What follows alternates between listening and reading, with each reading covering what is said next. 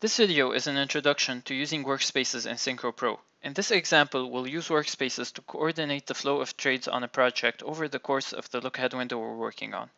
So let's start by linking these workspaces to the relevant activities that use them. Now we can click on workspace and find the other ones uh, from the 3D objects tree or the resources tab where they'll be stored as location resources. And since the name of each workspace is contained in the name of the activity in that case, it can also be an activity code or a task user field, we can auto match them.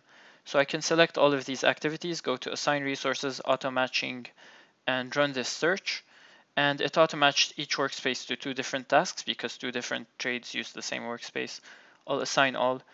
And as an extra step, I can select all of the activities from the same trade and change the appearance profile so we can visually identify the traits as we're scrubbing through the focus time. I'll show you how this would look like. So as I move the focus time, I can see the flow of trades. And just by doing that, I can already see that um, in these instances, two trades are using the same workspace in, at the same time. But let's say you weren't able to visually spot that, you can run the automatic clash detection feature from Synchro. So if you go to Navigator, spatial coordination.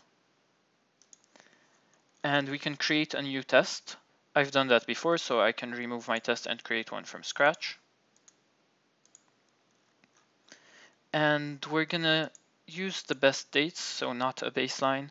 We're gonna run it on the selected 3D objects, so it won't find clashes outside of workspaces. And that's it for now. So we can make sure all of our workspaces are selected and go to spatial coordination and run our test. And then we get a clash detection uh, window, which can be exported as a PDF report. But we can just click here and see that, for example, for uh, B3 zone 4, two tasks use that same workspace at the same time for the duration of four hours on this start date and finish date. And then similarly for B2 for a whole day and B3 for another day. So we can close down this window and delay the non-critical activity in our project. For example, we can delay this task uh, by a day. So we can go to links, add a lag for the finish to start relationship for the predecessor, and just hit reschedule. So we'll go to plan, reschedule.